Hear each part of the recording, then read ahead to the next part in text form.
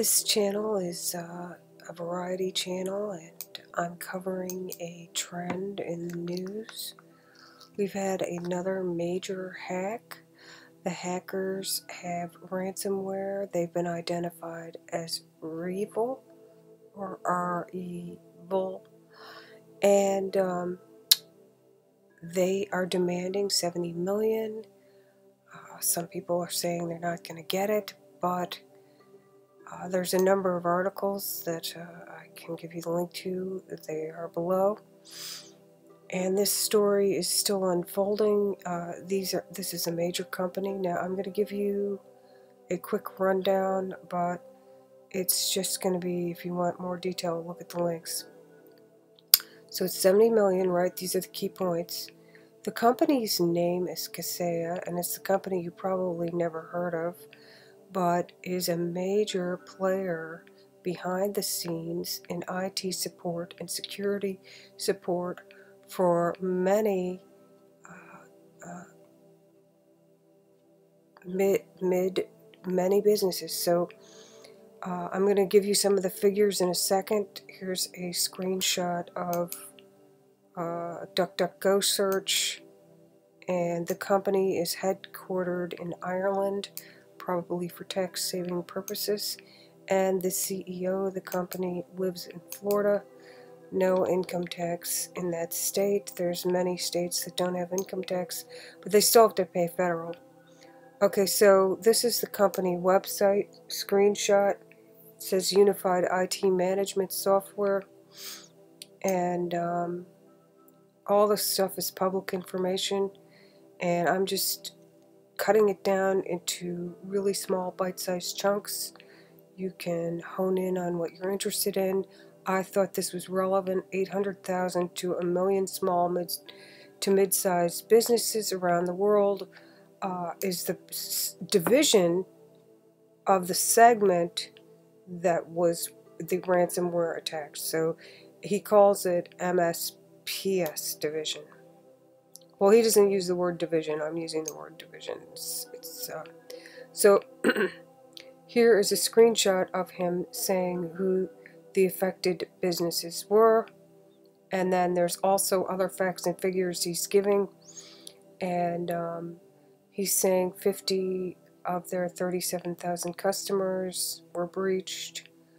Um, if you go to the cybersecurity CISA website, and you do know this is your vendor, you probably should take immediate action. They shut down stuff. It actually, if you go to their website and you look at the timeline, it it they noticed something was up on Friday, July second.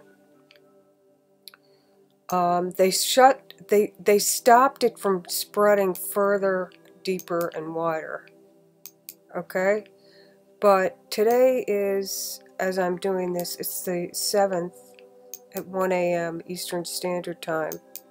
Now they're international, and uh, the CEO was the spokesperson publicly, uh, Fred Voccola. Here he is, and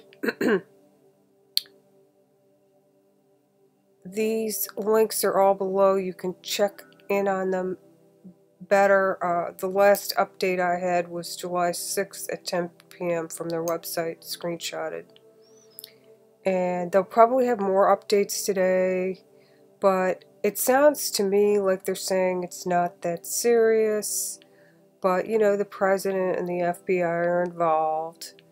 Good PR but they call it remote monitoring uh, software that was affected.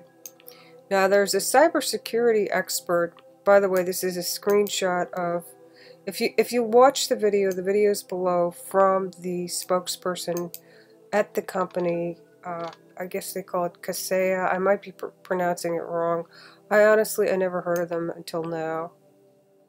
Um, you know, there's so many layers in businesses.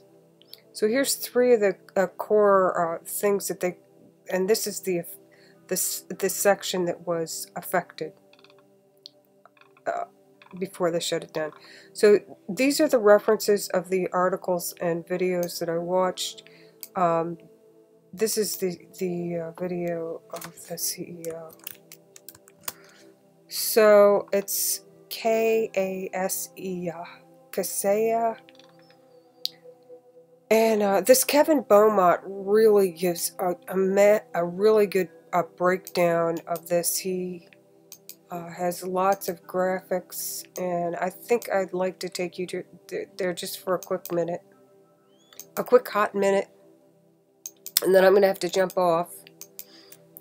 So basically, he gives graphic, uh, like screenshot views.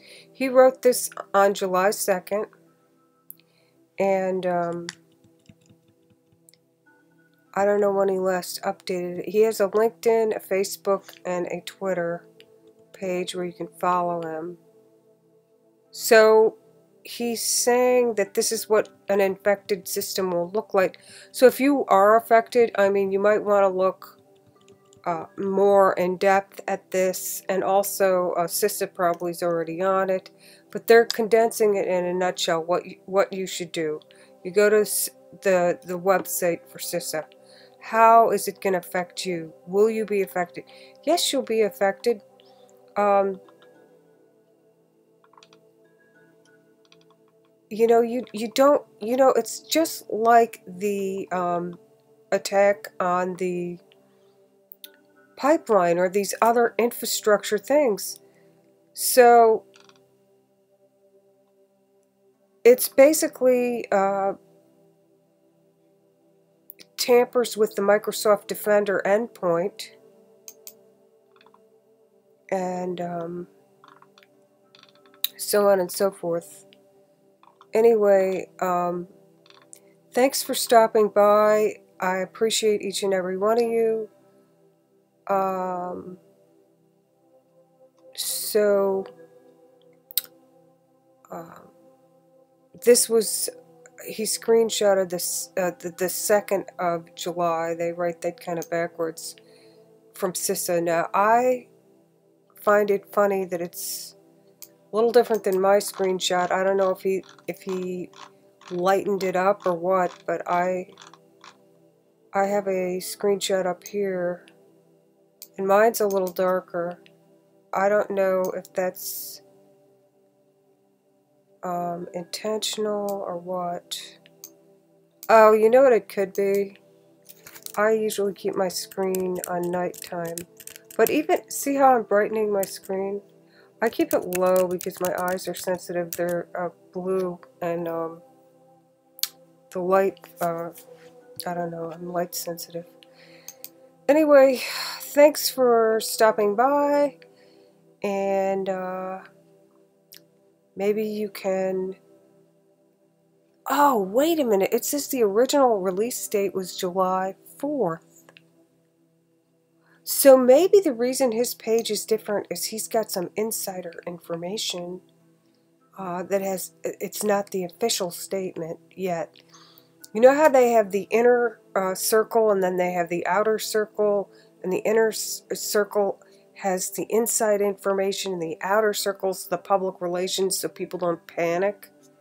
Anyway, guys, I don't know. We'll make sense of all this pretty soon.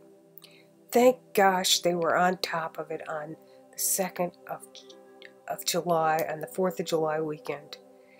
Thanks for listening and have a great rest of your day. Bye.